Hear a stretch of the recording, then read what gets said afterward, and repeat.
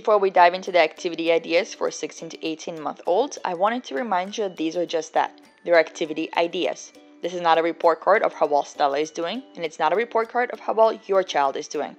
It's also not a reflection of anyone's parenting abilities. These are simply activity ideas that your child may be ready for and interested in around this age range.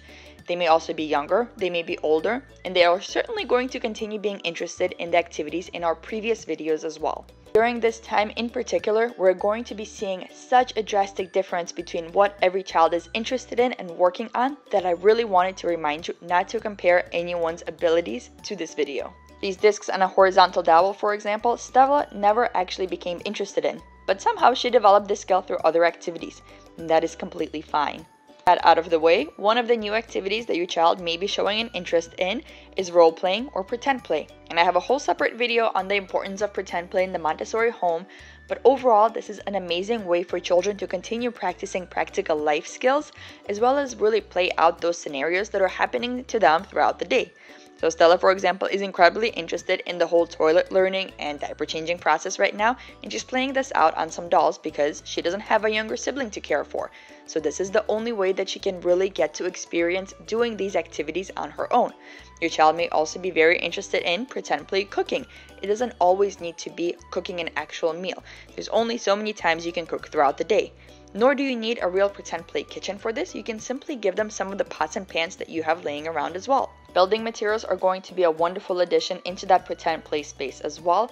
Now that our children's fine motor skills are a bit more refined, they're going to find the interest of putting things like Duplo blocks together because they can actually put the pieces together. This is also a great way to start talking about different colors or creating different things and showing your child how to build something like cars and planes from all these different materials is just as important as giving them some freedom to create on their own. Obviously, putting together just simple blocks is still going to be a very interesting and important concept for kids this age as well.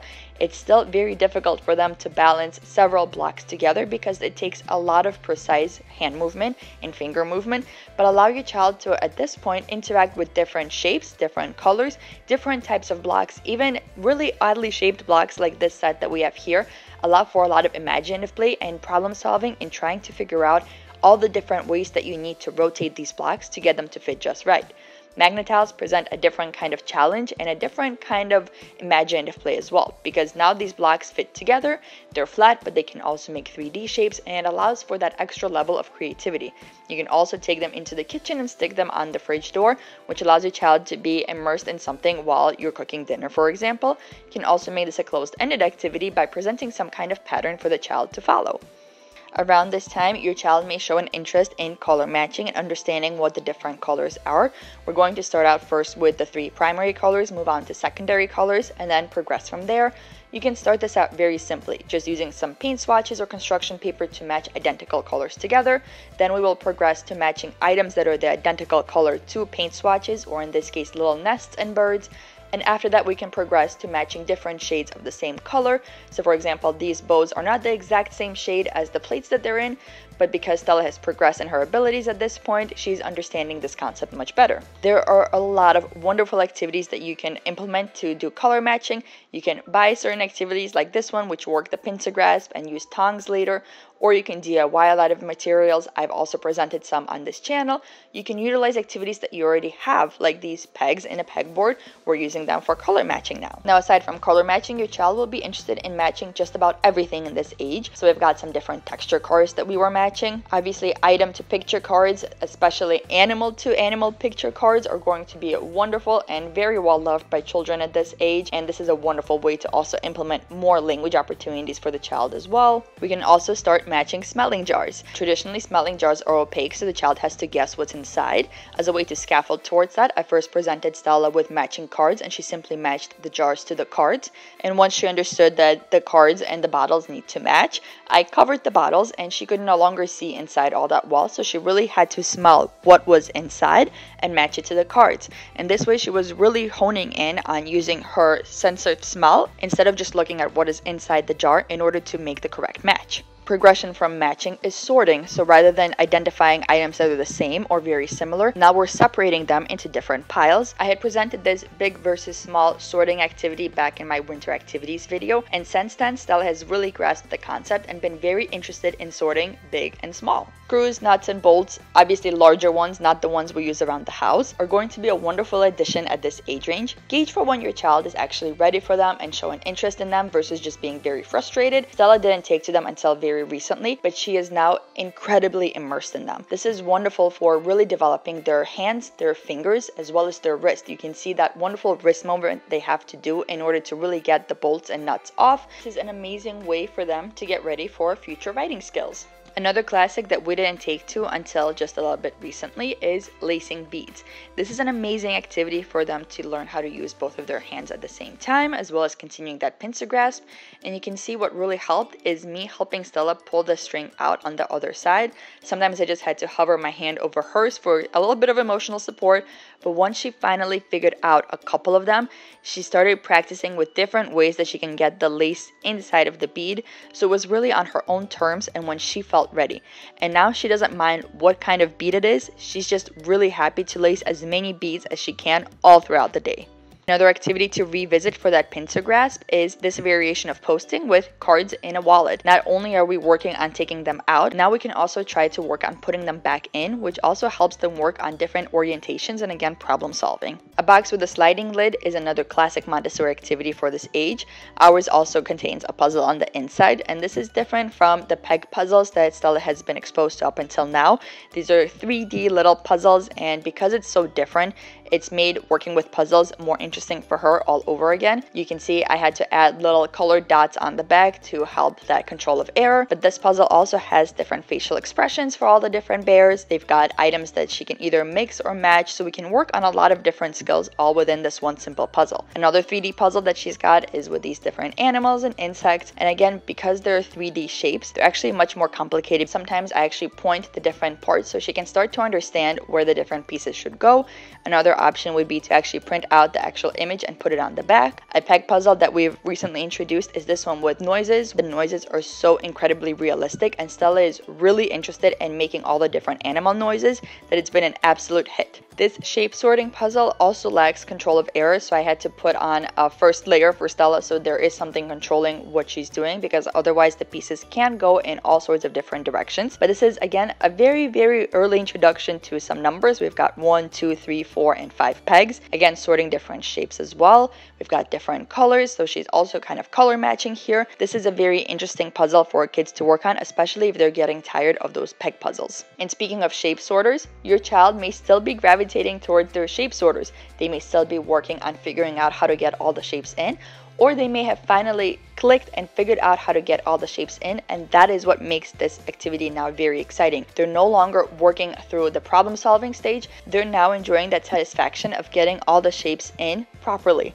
So if your child continues to gravitate towards their shape sorters, definitely don't rotate them out just yet. If you're not new to my channel, this barn with latches will not surprise you. Latches are a wonderful way to again work on those fine motor skills and this barn with latches specifically also allows for a lot of pretend play, open-ended play, and language development. You can notice here we've also moved on to working with some keys. That house is more of an activity that Stella is allowed to play with independently. I also recently got this set of the locks and keys from Montessori and me, and I was not planning on introducing it to Stella just yet, but she saw me taking it out and she has been in love with it ever since. This is always an incredibly closely supervised activity for us. The different types of keys and the different locks are so beautiful and so incredibly enticing for her. This is also its own version of a shape sorter and a different kind of puzzle, and it's very interesting for her to try to get the locks just in, and she's working on twisting and turning them, much like we do with the different nuts and bolts. I also wanted to point out that your child may still be interested in some of their previous activities, but in different ways. So we've got the stacking cubes as well as the Matryoshka dolls, and now we've started lining them up almost in the way that you would do with the brown stairs and the pink tower, kind of associating big versus small. We're also starting hiding some pom-poms in there. So we're still able to repurpose a lot of the activities that we used when Stella was much younger and simply learn different concepts with them. The same goes for this ball tracker that we've had ever since Stella was nine months old. Now she's starting to really experiment with all the different things that can go in there. And that is the beauty of how simple some of these activities are.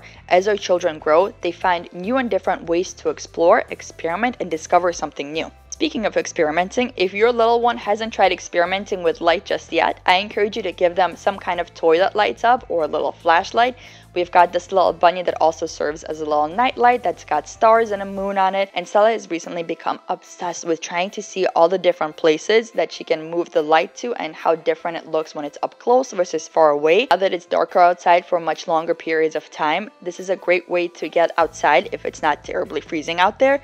Take a flashlight and go on a lit walk if it's safe for you to do so. Or you can simply turn off the lights in the house like we did here and allow your child to explore all the different ways that light works. Obviously, we can't talk about experimenting and exploration without touching on different art forms. Whether it's chalk or crayons or paints, really allow your child to have as much of an experience with art as is possible within your space.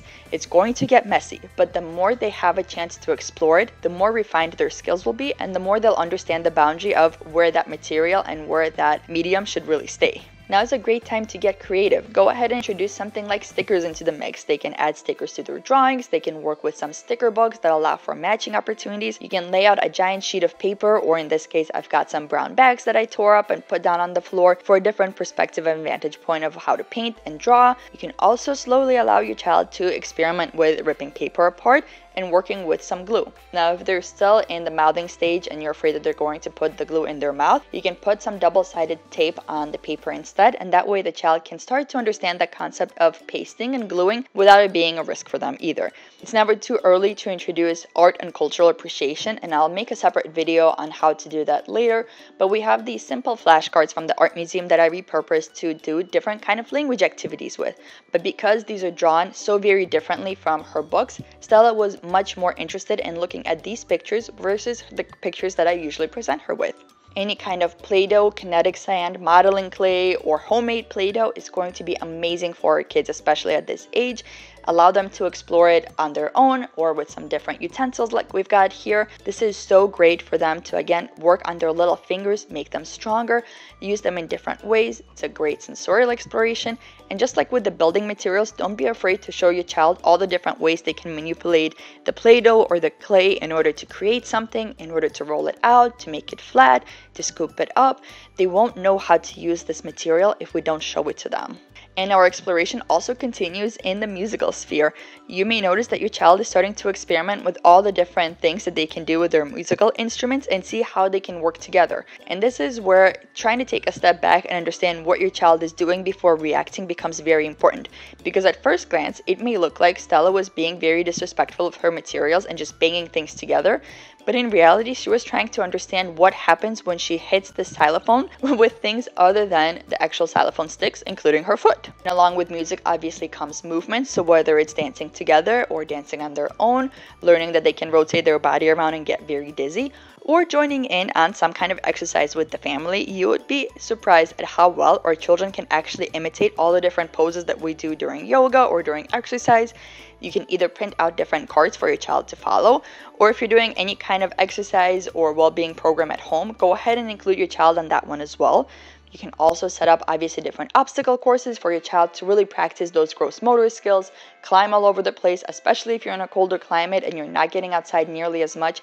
They really need a way to burn off that steam right now. If you've got a toddler that isn't always interested in climbing just for the sake of climbing, Stella is one of those toddlers, you can set up a little simple activity that invites them and encourages them to do so. So I've just got a simple ramp and I encourage Stella to just throw the cars down the ramp, see if she can hit any of the magnet tiles. And she was continuously having to climb down and climb back up in order to bring the cars back. Obviously, the best way to get gross motor movement in and really get that energy out is to go outside, whether it's on a nature walk, going to a playground, or simply playing in a sandbox. If it's still warm where you are, definitely utilize as much outside time as you can. But even as the seasons change and it gets colder, rainy, snowy, these are things that are such a burden to us as adults, but there are such wonderful sensorial explorations to our kids. They have never seen this before, or if they have seen it before, they were far too little to really remember it. Going outside to play in the rain and in the snow is going to beat any sensorial bin that you can create. Even if you are in a snowy climate like us, simply giving your child a shovel that looks like the one you use to shovel snow can lead to a surprisingly long amount of entertainment. And with the changing seasons come an additional level of practical life activities. Now that we've got all of these different items that we've got to get dressed with, your child may be much more interested in trying to figure out how they can work zippers, how they can put gloves on, how they can put their hat on. So if you see your child gravitating towards the shoe closet or wherever you keep your different items for them to go outside in, don't immediately tell them no. See if they're actually just trying to practice these skills. Another practical life activity that you may introduce if you haven't done so already is cleaning up after their work. Definitely not going to be something that they're going to consistently do, but modeling how to do that and encouraging them to join you or do that on their own, depending on what they'd like to do, definitely going to create a wonderful habit of cleaning up after themselves. Now, I do have a completely separate video of our practical life, day in the life routine, so I'll go ahead and link that to you here as well. Practical life presents so many simple ways for us to practice things like matching when we're matching socks or getting some gross motor movement in if we're working together to, for example, mop the floor. And if you're new to Montessori, this is not forcing the child to do chores. This is simply giving them the same tools that we have and allowing them to join us if they would like to do so. Trust me, I would have been able to mop this floor so much faster if Stella wasn't involved, but she was so fascinated with what I was doing and she really wanted to join in. And the important thing here is she was starting to understand the sequence of what I was doing. She understood that I was going under the furniture. She even understood that I had to move the rug in order to get under it and try to imitate that herself. These are very important skills for children as they move into their preschool years and start to do things like basic math and science. We've talked about peeling clementines before on this channel, but not only is this wonderful, again, fine motor and pincer grasp activities, this is also very simple sorting. We're sorting away the peel from the actual clementine. I think you'd be hard pressed to find a toddler that isn't obsessed with the fridge, so definitely allow your child to help you unpack the groceries whenever possible. This is, again, not only fine motor and gross motor work, this is a lot of sequencing, understanding they have to take some things out of packages before they can put them into the fridge.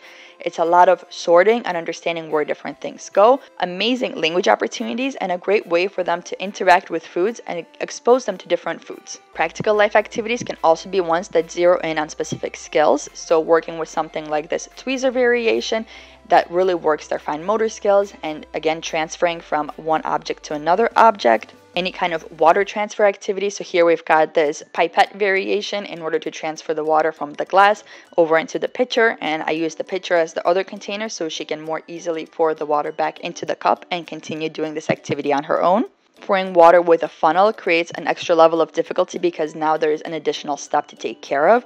You can see because Stella's been pouring water for so long, she's getting really good and very careful about all the different steps that she needs to do. And the reason we put such an emphasis on these kind of small practical life activities is so they can utilize them in their day-to-day -day lives. For example, when they're pouring cereal into a bowl, this is dry pouring, and when we give them milk, this is wet pouring. And don't forget to always present your child with something that will allow them to clean up the spills because this can be the most fun part of any activity. And if it really becomes a big mess, why not make it into a table cleaning activity? This is perhaps a toddler's favorite type of sensory play. Simply playing with a soft sponge, some soapy suds, and just let them have at it. They're going to be so fascinated with being able to manipulate these suds. They're creating different patterns on the table. When they squeeze the sponge, the different bubbles come out. This is a great sensorial exploration. This is a great practical life skill. This is again great for their hand development as well. And while having a functional kitchen makes the cleanup and in-between process a lot smoother, you can simply put a bowl of water on the floor as well and create an additional little activity for the child to go along with it. And again, the cleanup process can sometimes be the most fun part. I brought this in to actually clean up the floor by myself, but Stella decided to take over and she proceeded to take the towels away from me and run away into the laundry room before I even had a chance to clean up. Now, if you do have snow where you live, you can certainly incorporate it into these practical life activities. So transferring snow from one bowl to another with a scoop. You can also hide the animals in the snow and give your child some utensils to dig them out with. You can also go ahead and add the cars that they use to match with the animals as an extra level of difficulty and an extra step and a purpose of why they're digging through the snow. Not every child is going to be interested or ready for this kind of food prep just yet. This is incredibly supervised at our house, but Stella has been very clingy during dinner time, and this is the only thing that has satisfied that need. She really wants to be involved in food prep, but it's also exposed her to a lot of new foods. And of course, we can't forget reading.